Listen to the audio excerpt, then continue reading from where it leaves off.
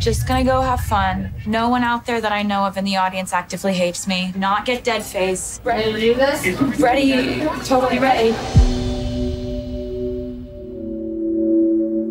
Throughout my whole career, label executives would just say, a nice girl doesn't force their opinions on people. A nice girl smiles and waves and says thank you.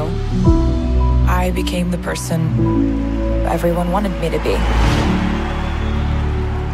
I, I think that Taylor Swift, she is annoying. All of her model friends. Too good. Going through guys like a train. She's too skinny.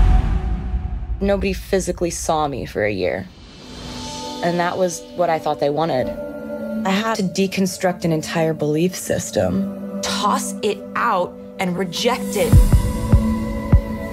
American glory faded before me. It woke me up from constantly feeling like I was fighting for people's respect. I saw the scoreboard and ran for my life. It was happiness without anyone else's input. It's been a long time coming, but you and me, that's my home. I want to do this. I need to be on the right side of history.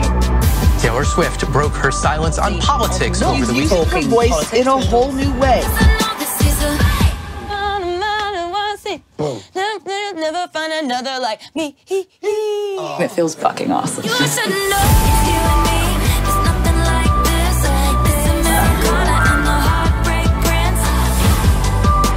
I feel really good about not feeling muzzled anymore, and it was my own doing. I know you gonna lie, 'cause nobody's gonna. There's nothing that feels better than this moment.